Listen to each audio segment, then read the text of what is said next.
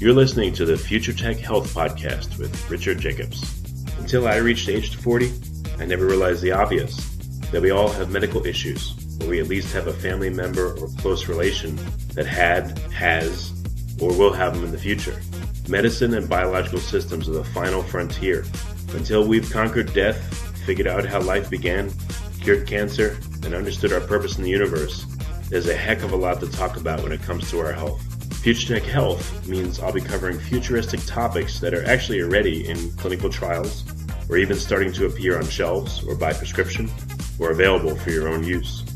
We dive deep into stem cells, CRISPR Cas9, the science of sleep, epigenetics, medical testing, cancer, ketogenic diets, stem cells, aging, regenerative medicine, and more. My goal for you, the listener, is to learn from these podcasts. You may very well learn something that may change the course of your life for the better, steer you towards a new career, or give you insight into addressing a serious medical problem. Remember, however, this podcast and its content is informational in nature only. No medical, tax, legal, financial, or psychological advice is being given. If you enjoyed the podcast, please listen, subscribe, like, and share it with friends. Thank you. Hello, this is Richard Jacobs with the Future Tech and Finding Genius podcast. I have Nicole Catherine Woitowich. Uh, Dr. Woitowich is out of Northwestern University. Uh, she's an associate director for women's health research at Northwestern University. So we're going to be talking about uh, the intersection of uh, how sex and gender plays into health and disease. So, Nikki, thanks for coming. How are you doing? Oh, very well. Thank you so much for having me on the podcast. Yeah, I guess uh, well, to start us off, I just have a personal observation. You know, obviously I'm not a woman, but I've been thinking a lot about health as I do these podcasts, and I realize just, for instance, you know, when you take a medicine, as a man, you just take the medicine. But as a woman, depending on where you are in your, you know, your menstrual cycle, I wonder how the medicine would affect you differently. And then I thought, hmm, I wonder if any medicines are tested that way you know, even even at the, the rat stage or the mouse stage, but never let, never mind the human stage, to see how they affect the person. So I just wanted to start with that thought, but you know, we can continue from there. So that's a really great observation, and actually, um, it's one that's that's quite uh, important to my work.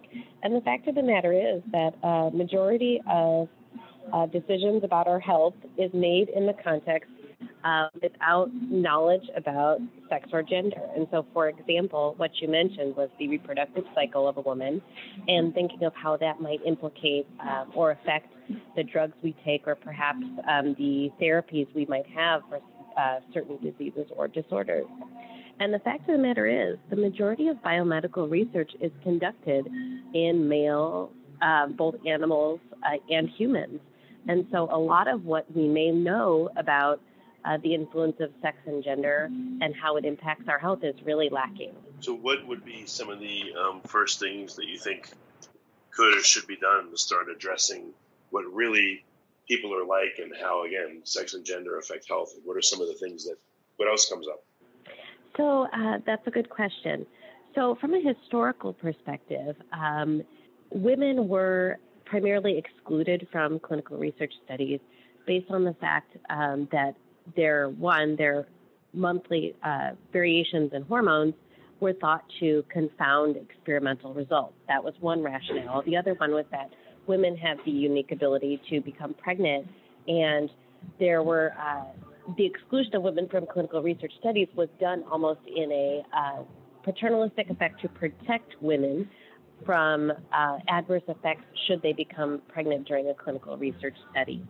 And so this thought really uh, transcended uh, clinical research and was a prevailing opinion until it was mandated in 1993 by the NIH Revitalization Act that women and minorities needed to be included in clinical research studies.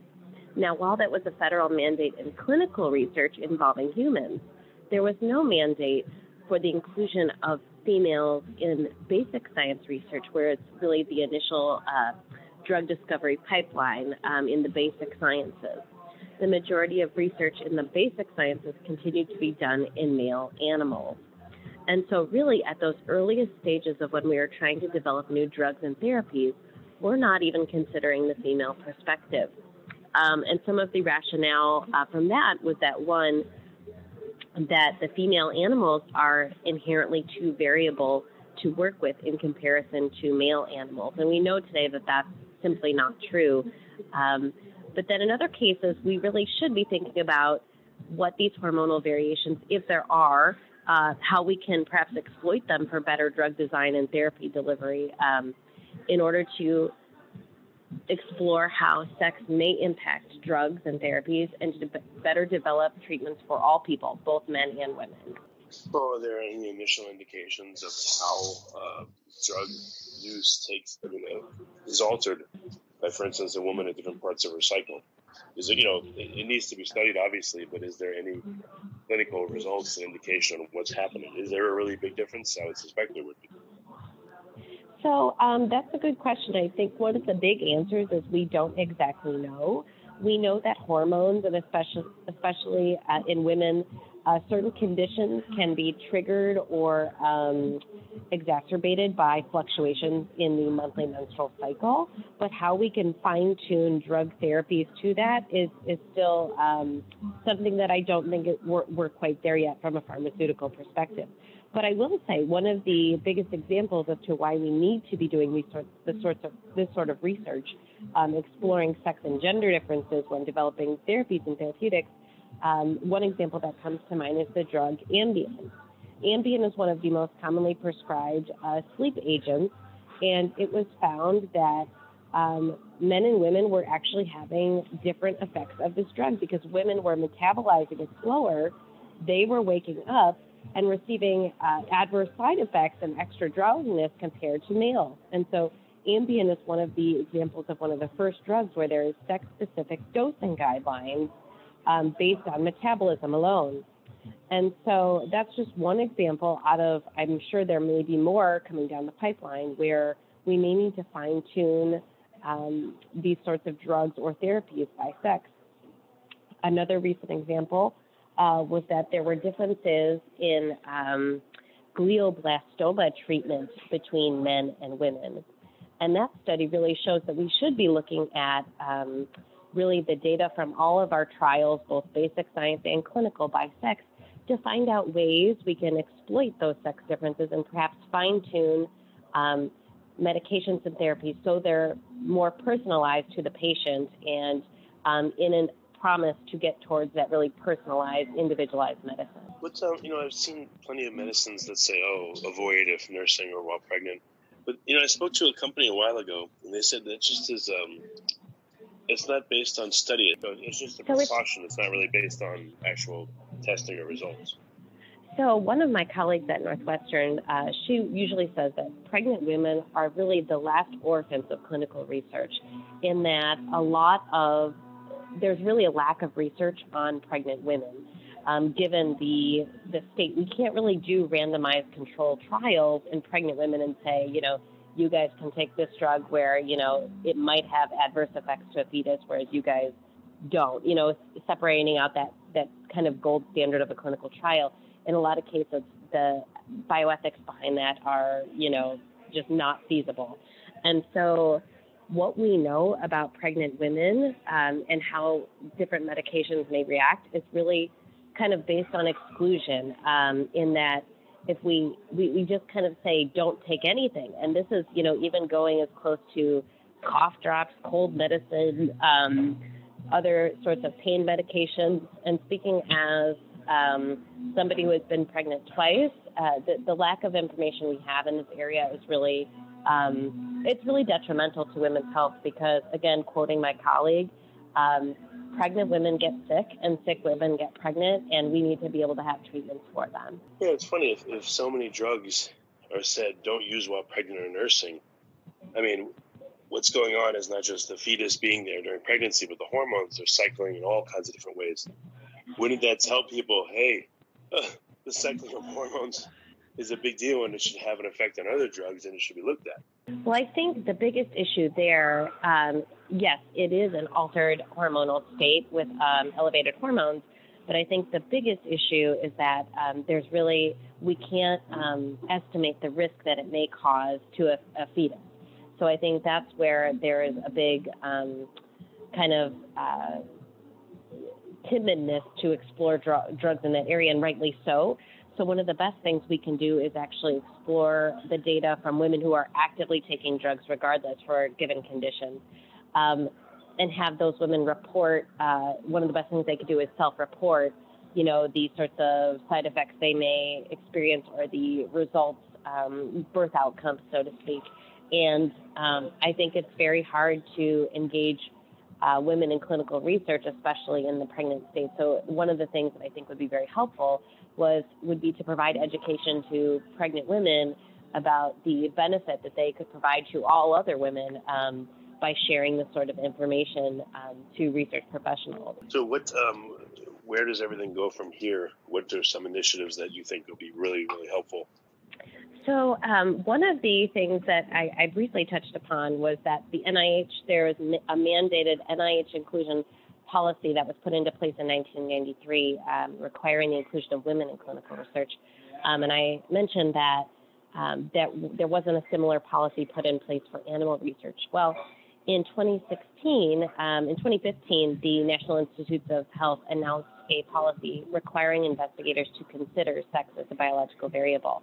And so that policy went into place, and um, we are now entering an era where uh, the research community should be considering how sex influences their research.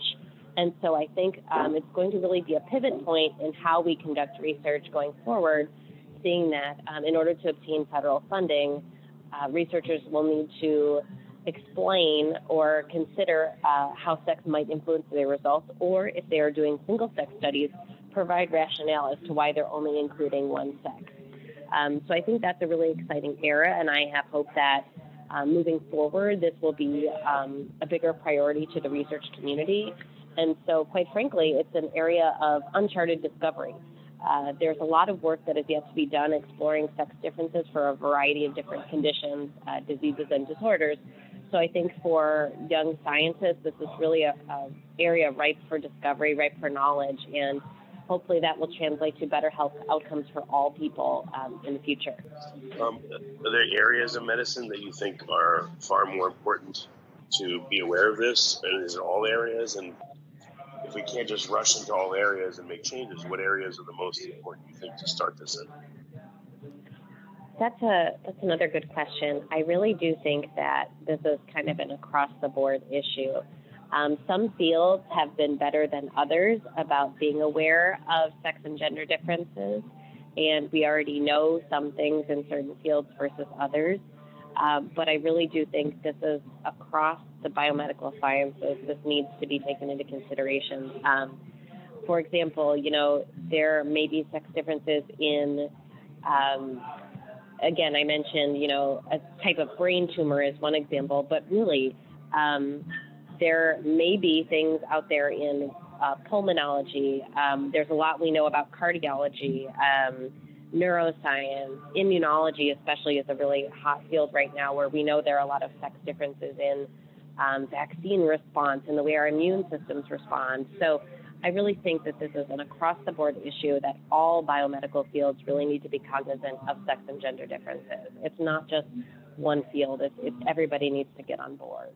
Have you seen personally um, any medical data that has looked into this? And if so, was it surprising or were the results underwhelming? I mean, are there any particular examples you've seen of this in action? Um, I think one of the biggest studies I saw recently to date was the, um, a study, as I mentioned, on glioblastoma, a type of brain tumor that uh, they ended up analyzing the survival data and the treatment data by sex. And just that basic analyses of breaking down the population into two, male and female, they were able to pull out differences in the treatment and survival rates, hence being able to kind of tailor treatment and or look at what mechanisms differ in one sex versus the other. And I think that's, um, I've been using that as an example to showcase how even basic analyses, if you are including males and females in your research, which you should be doing in general, um, and a lot of clinical studies are they now are mandated to include males and females, but they're still lacking in data analyses. So that what that means is that they have men and women enrolled, but they're not breaking down the data by sex. And when they look at the data by sex, you know, you may find differences, you may not. And I think that's one of the biggest pieces is that in addition to sex inclusion, we need to be doing sex-based analyses. Um, and then kind of moving forward to that, we also need to be taking gender into consideration. Um, very briefly, um, for those of you who are, who are may not be as familiar with the terminology, sex is really a biological construct where um, gender is the sociocultural, political, sociopolitical context, um, which uh, is related to male-like behaviors or female-like behaviors. Um, and you know, going forward, I think even the biomedical community would would be well positioned to start analyzing data by male and female gender, gender nonconforming, gender non-binary individuals, because each of those folks will have, uh, you know, different influences in their cultural context that may impact their health. And so I think having robust analyses by both sex and gender when applicable is very important. You think, I mean, well, I don't even know how to define gender anymore, but um, so so any difference in response to medical treatment? I mean, it doesn't come really from a physiology perspective, or maybe it does. I don't know. I wonder.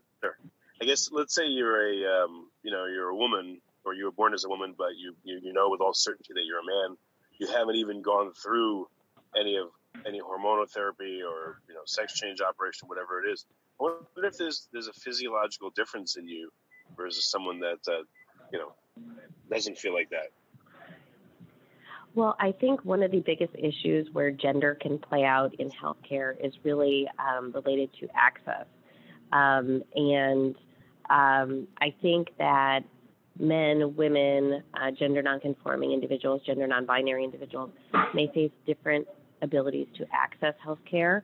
Um, and we know, um, and from the data that I'm familiar with, for example, I know um, based on the environment where an individual is located uh, can predict some sort of health outcomes um, or their ability to access care. Um, so I think that's something we need to be cognizant about, um, especially moving forward in defining health equity and access for gender non-binary and non-conforming uh, and transgendered individuals. And I think right now there's an that's an area where there's really a lack of knowledge and information. Although I definitely have colleagues who are working specifically in these areas to prove in, to improve health equity and access um, for um, for those individuals. Yeah, that makes a lot of sense. Do you, do you know anyone that's uh, looked at physiology somehow to see if there's any difference? Um, you know, I'm not as familiar with that area of research, but um, I think, you know, we need to be very uh, cognizant and careful uh, and inclusive when designing studies um, regarding um, physiology, physiology, and um, we need to be just very um, cognizant of any potential adverse results that might come from it in, in terms of I think there can be, I, I would shy away from saying any physiological things at the moment, um, just because I'm not as familiar with the literature. So I guess I'm not the best source on that particular question. No, that's fine. I just wonder if anyone is looking at that. I don't know, just a thought occurred to me, but I don't know. You know, um, I don't know if you know, but that's okay. I just wondered. The thought came up. So, so there's also yeah cultural differences and access to healthcare, like you mentioned, and, and those dynamics. I guess one issue is, you know, if I'm going to do a clinical trial and, you know, I can't, I mean, it's, it's expensive enough. It's hard enough. It's long enough to do a clinical trial. And I'm sure they're, you know, obviously they're not optimal, but if you try to be inclusive and you try to have a lot of diversity in the clinical trial, then that hurts the statistics of it, which will make it even more expensive and more difficult to do how do you see those those two things interacting? I mean, we you know we need science, we need clinical trials, we need progress. Yet there will be, I'm sure, people in groups that aren't served, you know, in the studies of a particular drug or protocol. So what do you do there? You know, that's that's a big challenge. Right now it's it's incredibly hard to recruit people for clinical research studies in general. Um, the majority of uh, participants tend to be located um, obviously around um, medical research, um, academic research institutions, large hospital systems, and you know historically we've uh, not treated uh, marginalized or minority populations well. And so, in terms of research, and there have just been, you know, atrocities in the way the research community has has approached, um, you know, underserved populations and um, minority groups. And so, there, I don't. Um, trying to engage people from all backgrounds in clinical research studies is very difficult. But if we do not include or attempt to include all perspectives and backgrounds, and I'm talking, you know, socioeconomic, uh, racial, geographical, um, sexual orientation, without that information, um, we're missing big pieces of, of health. And that's really, um, it, it goes back to health equity and that we're not designing drugs and therapies for um, for everyone. We're developing these drugs and therapies for a small population.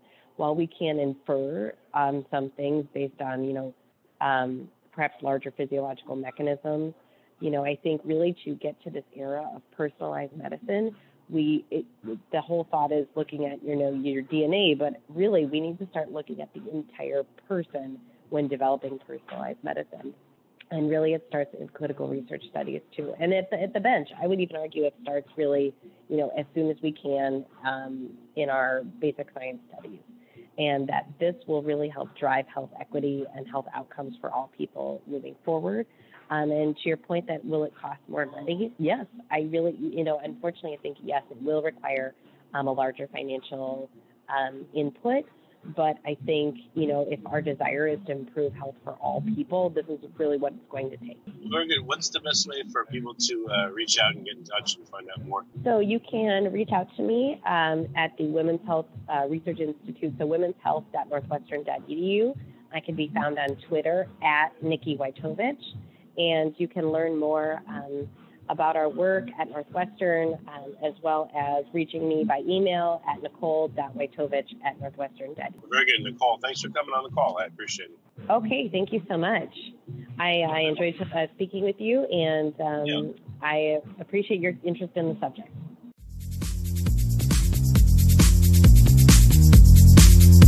You're listening to the Future Tech Health Podcast with Richard Jacobs. Until I reached age 40, I never realized the obvious that we all have medical issues, or we at least have a family member or close relation that had, has, or will have them in the future. Medicine and biological systems are the final frontier. Until we've conquered death, figured out how life began, cured cancer, and understood our purpose in the universe, there's a heck of a lot to talk about when it comes to our health. Future Tech Health means I'll be covering futuristic topics that are actually already in clinical trials, or even starting to appear on shelves or by prescription, or available for your own use. We dive deep into stem cells, CRISPR Cas9, the science of sleep, epigenetics, medical testing, cancer, ketogenic diets, stem cells, aging, regenerative medicine, and more. My goal for you, the listener, is to learn from these podcasts. You may very well learn something that may change the course of your life for the better, steer you towards a new career, or give you insight into addressing a serious medical problem. Remember, however, this podcast and its content is informational in nature only. No medical, tax, legal, financial, or psychological advice is being given. If you enjoyed the podcast, please listen, subscribe, like, and share it with friends. Thank you.